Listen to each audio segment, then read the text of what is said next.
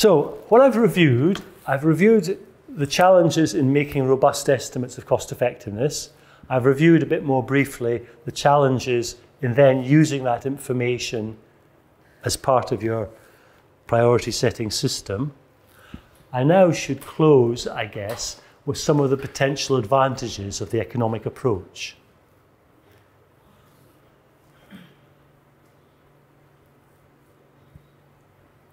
Now, whether we call this an advantage or we call it a sort of belief or an assumption, let's call it a belief. The belief is that if you can take decisions on a more consistent basis, you'll have better use of scarce resources. And the whole drive of using an economic approach is to try and make the series of decisions uh, take these decisions on a consistent basis. And so the expectation is by using um, this economic information, you will end up with better decisions, better decisions in the sense that from our limited resources we get more benefit. That's the belief. Of course, what I've just been talking about, the idea that cost effectiveness thresholds and budgets are out of line is just the reverse. We're not getting better um, use of resources if, if that's true. Uh, another potential advantage of an economic approach is it does give the opportunity for really quite widespread stakeholder engagement. Now, I haven't emphasized a lot of the processes taking place, but for example, manufacturers are heavily involved because they produce the evidence. They produce what they sometimes call a sort of evidence portfolio, or more in marketing, they call it a value proposition uh, about what their product offers. Uh, yes that uh, now they may pursue some like uh, the precise medicine, for example, that new drug is not uh, uh how can I say effective, uh, if have efficacy to all of the, to the, the total patients, mm. but they uh, go that some subgroup. Yes. I, I just uh, wonder whether the cost effectiveness research to how can I say identify some subgroup which is uh, have, uh, very good uh, cost effectiveness in some.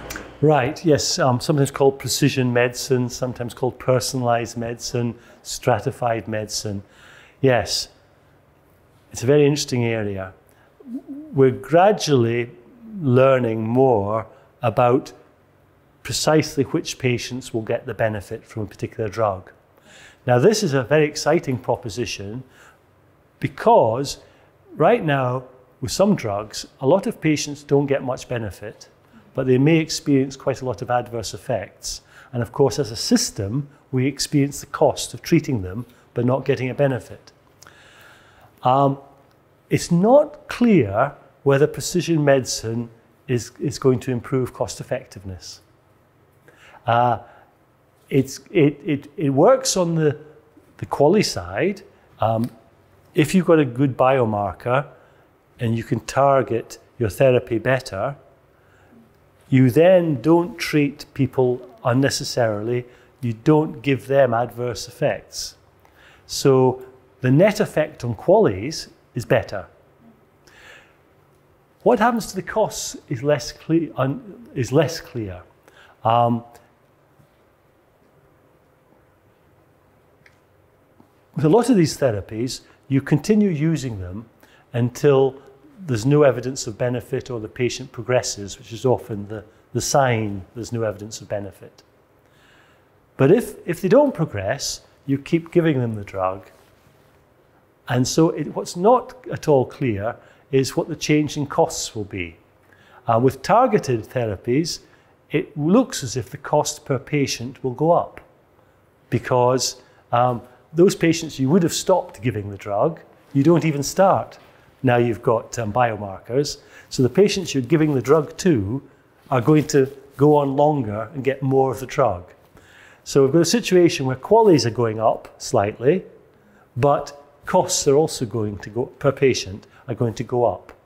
And uh, the question is, which is going up faster?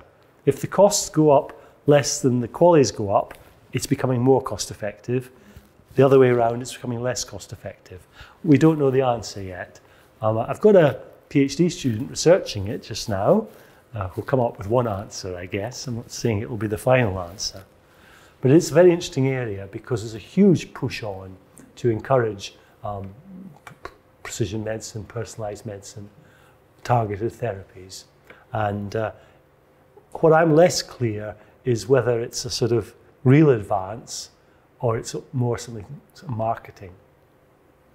It's also, universities love it because you've got lab after lab um, happily searching for biomarkers and testing one and knockdown mice knockdown models as you knock out one thing or another. Um, so it's very exciting from a research point of view, uh, but I, I, think it's too early to say if it's going to absolutely transform medicine.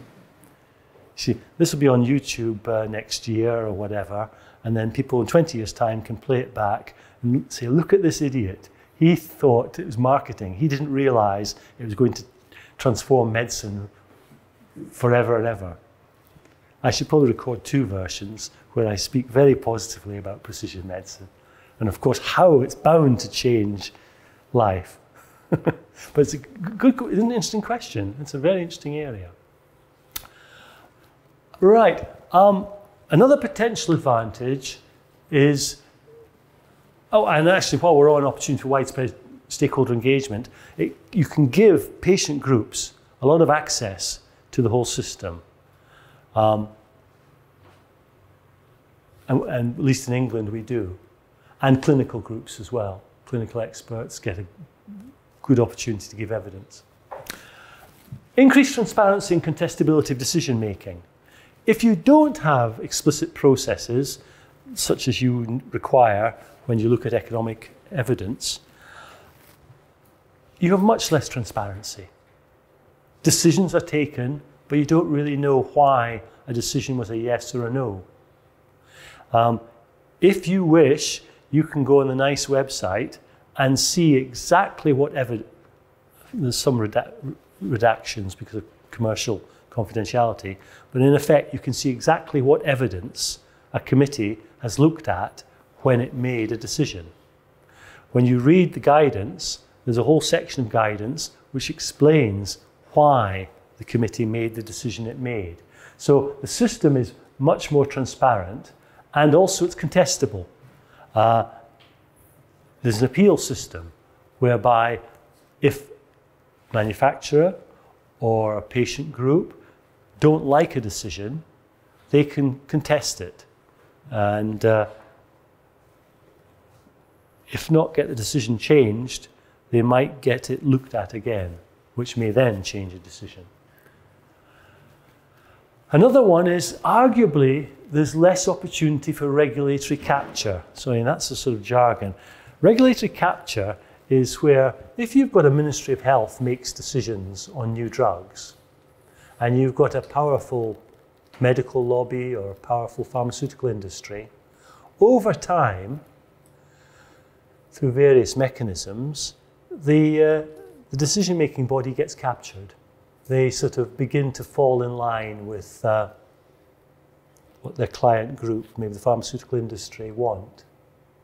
Now, there's less opportunity for that if you've got an explicit system of health technology assessment that's looking at the costs and the benefits, that is publishing the evidence, that is indicating how and why a decision was made.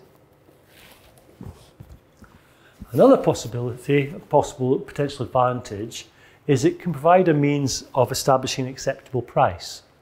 You know, what should the price of a new technology be? Well, one guide to it is if we know the cost effectiveness, in other words, if we know um, the benefit, additional benefits produced at what additional cost, we can begin to have quite an informed discussion about price. A major element of the cost effectiveness will be the price.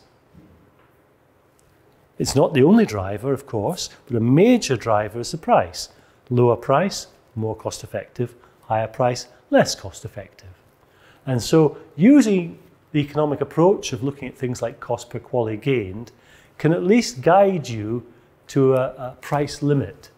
You could say, well, above that price, this is not going to be a good use of resources.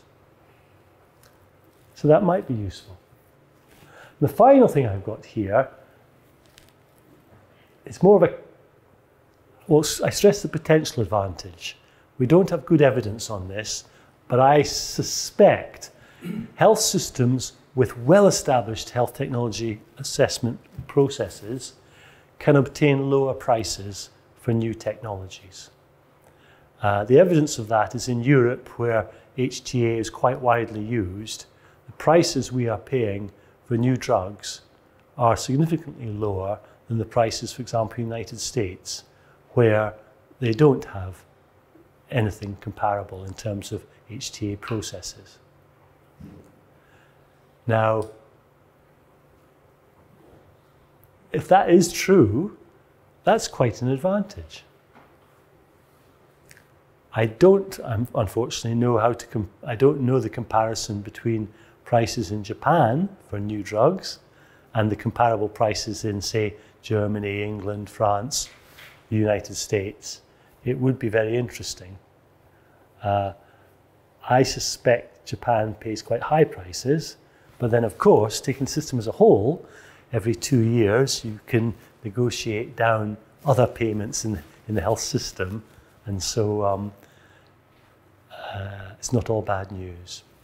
So let me just be absolutely clear here. I want to call these potential advantages. I think it would be reckless of me to sort of be absolutely categorical and say, you know, these are advantages that um, you've really got to, you've got to, you, you, really must embrace health technology assessment. You've got to take the economic approach and then get these advantages. I'm not doing that. I'm not doing a sort of sales pitch. I think these are potential advantages of an economic approach. So in summary, um, and I'm actually going to finish on time. This is luck rather than judgment, but there we are. I'll claim credit. This is an important topic. It's big sums of money. It's health. We all care about our health and other people's health. So it can't really be more important. It's very exciting because it's rapidly evolving.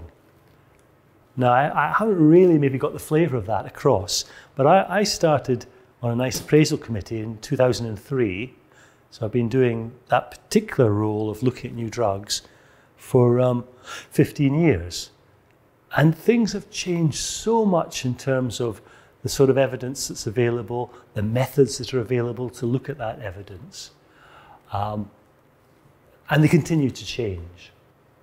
Now, as I've emphasized throughout these lectures, there are numerous challenges in terms of methods. There really are. I mean, I guess you guys haven't been very exposed to the methods before, and now you're probably coming away thinking, oh, I thought it was more robust than that. This is terrible. They're taking decisions on, on that. They've asked the general public to do a time trade off, and that's determining what drugs are available. You know, I can quite understand you might feel that way, and I think it's a fair response. Um, what I haven't gone into a lot is the sort of processes. I've, I've emphasized more the methods, but there's also numerous challenges on the processes. But I would like to claim that the potential benefits from a successful system for determining healthcare priorities are large. So it's a sort of prize worth working for. And uh, I think that's my last slide. Yeah, good. And thank you for your attention.